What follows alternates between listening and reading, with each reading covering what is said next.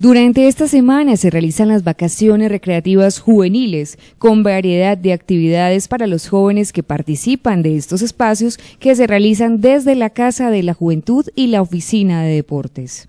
Sí, a ver, eh, las vacaciones recreativas se vienen desarrollando a partir de la semana pasada. La semana pasada se hizo un trabajo que fue con los niños, se hizo una semana de vacaciones recreativas para los niños. Estas, eh, estos eventos se realizan con la Oficina de la Juventud y la Dirección de Deportes. Eh, se hizo un sinnúmero de actividades durante la semana pasada donde tuvimos muy buena participación por parte de los niños. Durante esta semana se vienen realizando las vacaciones recreativas para los jóvenes donde tenemos la participación de seis equipos, cada uno de ellos de 20 integrantes, donde vemos que se, la comunidad cuida estos llamados.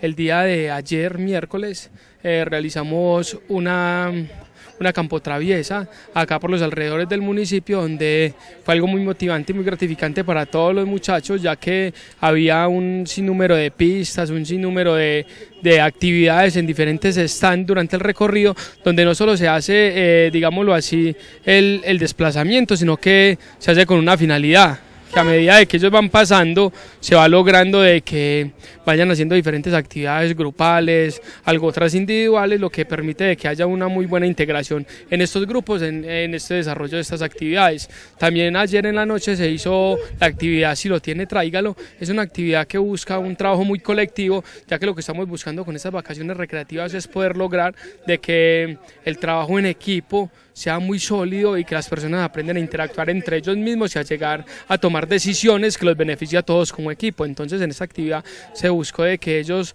eh, usaran estrategias para poder traer un listado de, digámoslo así, de cosas que se les solicitaba. Entonces fue un trabajo muy coordinado.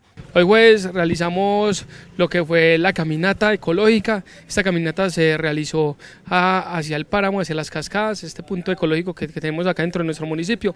Entonces eh, fue algo muy gratificante porque la participación de todos los equipos fue apto, eh, todos asistieron a esta eh, caminata ecológica donde fue un desplazamiento un poco largo, pero las personas participaron y acudieron a este llamado.